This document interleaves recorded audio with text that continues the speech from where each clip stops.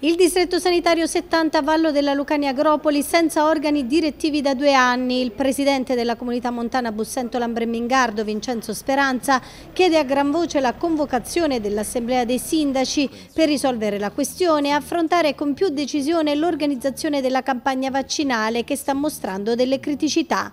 Sono due mesi, ha detto Speranza, che prima verbalmente e poi attraverso PEC sto sollecitando il sindaco di Agropoli alla convocazione dell'assemblea.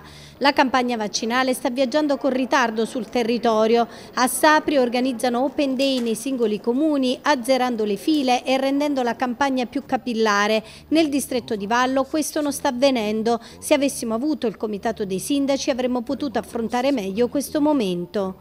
La questione è infatti legata all'assenza del presidente del comitato dei sindaci del distretto, una situazione che perdura da due anni, dal 2019 per la precisione, da quando cioè lo storico presidente Andrea Salati non si è ricandidato alle elezioni come sindaco di Gioi e dunque ha lasciato vacante il posto in seno all'Assemblea. Secondo quanto previsto dalla normativa, ora a convocare l'Assemblea per eleggere gli organi dovrebbe essere il sindaco del comune più popoloso in assenza di presidente, quindi Agropoli. Speranza perciò ha sollecitato più volte il sindaco Coppola e lo scorso 4 dicembre si è rivolto anche a tutti i sindaci chiedendo loro di attivarsi per l'elezione degli organi rappresentativi in modo da avviare una seria attività di programmazione dell'offerta sanitaria sul territorio.